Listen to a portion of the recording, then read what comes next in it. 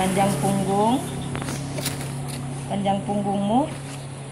Panjang punggung. 10 cm teh. 40 ya. Nah sini tadi. Seperempat lingkar badan. Langsung. Seperempat lingkar badan. 24 teh. 24 ditambah 1 ya. 25 25 25 sama di sini. Perempat lingkar badan. Ya ini karena kau ngasih apa? Jadi harus kita kasih garis juga ini. Biar bisa menentukan inilah lingkar badannya lingkar besar badannya. Ya jadi leher eh, kau mau modelnya apa? Kita buat V ya? Teh jadi ini standarnya kalau untuk kita pakai baju 8 cm ya. Kalau itu kan teorinya cuman teori dasar itu untuk pakai kerah bisa itu dipakai ya. Ini kan nggak pakai kerah ya.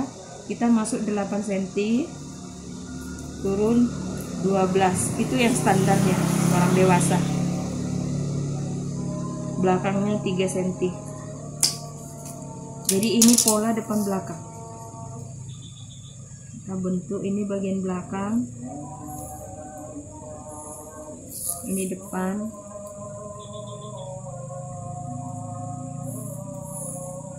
Nah terus ini dibagi tiga. Untuk turun bahunya dibagi dibagi tiga. 16 kira-kira 16 kira-kira 17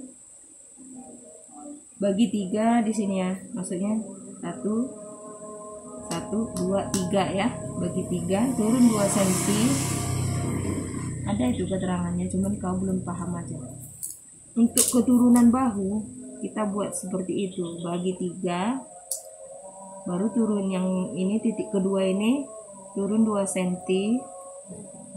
Miringkan bahunya. Dah. Baru lebar punggung berapa lebar punggung Hmm. Lebar punggung lebar punggung 40 teh 40 dibagi 2. 20 teh 20 ya. Jadi ukur dari sini ini aja patokannya. 20. Kita bu- langsung 20. Jadi nggak perlu ukur bahu lagi. Kita bikin ini blus biasa dulu ya. Jadi nggak perlu ukur bahu. Jadi bahunya udah otomatis ini dapatnya. Ya. Ini masuk 8. Ini bagian belakang turun 3 cm. Depannya 12. Kita mau kalau misalnya mau V, tinggal V diginikan aja. Tinggal dibentuk aja. Kalau model V ini model buat bulat kan? Ini paling kalau model V paling turunnya 17. Ya. 17 dia kalau paling turun kalau model V-nya. Terserah. Kita mau ukur lah mau seksi kali turun gitu. Tinggal dibentuk-bentuk aja. Jangan terlalu apa kali nanti biar agak manis kan. Kita ginikan aja model V nya. Nah. Jangan terlalu patah kali gini pakai penggaris ya.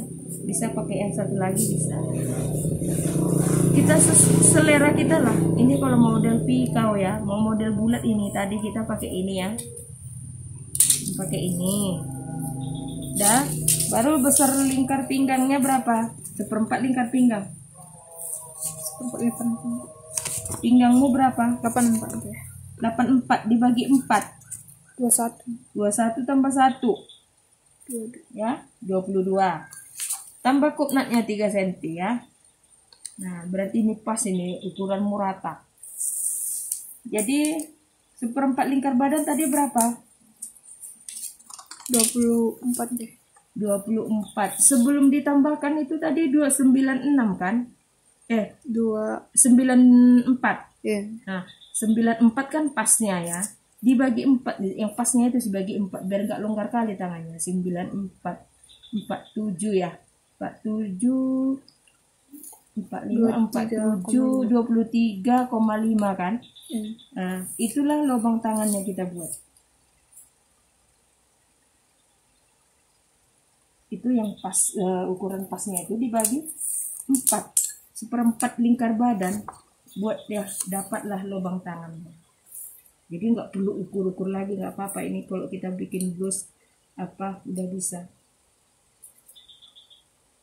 23,5 ini patokannya makanya perlu ini. Ya. 23,5 nanti kau bandingkan dengan polamu ya. Cocok nggak? Kadang-kadang kita ngukurnya nggak pas. Jadi nggak nyaman dipakai ketiaknya. Nggak pas ketiaknya.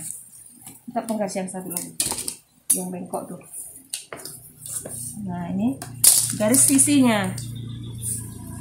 Udah langsung otomatis sisinya. Jadi nggak perlu kau ukur-ukur lagi sisi orang tuh kalau mau bikin terima jahitan baju orang. Tadi kau tambah 3 cm di sini. Udah seperempat lingkar badan. Tambah 3 cm untuk kopnat di sini dia ya. Langsung bentuk aja ini ha bentuk body ini. Kalau pinggul yang ini misalnya gini. Ini untuk bawa untuk lingkar badan nih bodinya. Nah tuh. Terus turun 20 seperempat lingkar pinggul. Berapa? Seperempat lingkar pinggul. Hmm. lingkar pinggul deh pinggulmu tadi? 100 Lim- lingkar pinggul 100 eh, eh, dibagi 25 4 25 25 ditambah satu ya. Jangan lupa bagian depan tetap tambah satu. Lingkar badan seperempat lingkar badan tambah satu seperempat lingkar pinggang tambah satu seperempat lingkar pinggul tambah satu. Itu pola depan. Karena kita untuk pakai satu pola itu harus jangan lupa. Nah kita panjang blusnya sampai sepinggul aja dulu ya. Jadi kalau bagian depan ini kita turunkan aja biar enggak dia naik dipakai bajunya. Bagian depan diturunkan. Jangan belakangnya nggak usah bagian depan aja. Biar nggak naik dipakai. Nah diturunkan 2, 2 cm aja. Ini blus biasa ya. Nah, terus ini kita buat kopnatnya seperempat lingkar pinggang ini tadi dibagi dua. Tuh. 21 tadi tambah 20 ta- seperempat lingkar pinggang tadi 21 kan ya ditambah 1 22 dibagi dua berarti 11 ya? Tengahnya 11 11 kanan kiri satu setengah. Kiri satu setengah. Tingginya tinggi dadamu di situ berapa? 13 13 jadi ini luruskan aja 11 kalau untuk baju turunnya kopnat tuh 10 jangan samakan dengan roknya baju perut apa nanti sempit pinggangnya. Jadi tengahnya garis lurus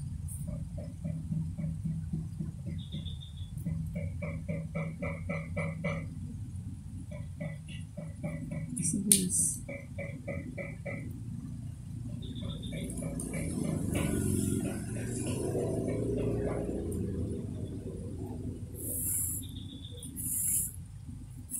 jadi perlu ini apa nih kayak gini kau beli merah biru. Ini enggak pas ya? 11 oh iya pas. Ini 11 jadi tadi kanan kirinya satu setengah. Untuk bentuk ping apanya eh, pinggangnya satu setengah. Baju untuk baju turun kopnatnya 10 cm aja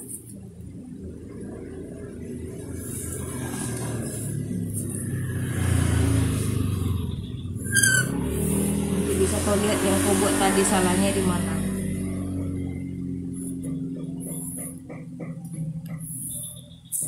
Kalau de- belakangnya tinggikan 2 cm kupnatnya ya dari depan ya. Depan kan 13 ya. Ya belakangnya tinggikan 2 cm aja belakangnya 15 tetap di situ garisnya nggak apa tetap aja sama. Jadi ini belakang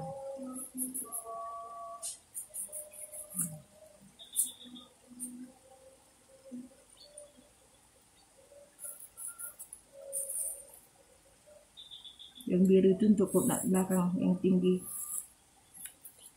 Udah udah jadi nih.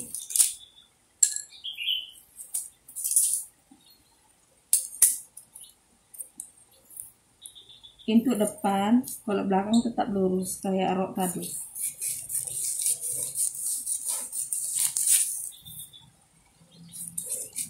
Nanti kau coba ulang ya.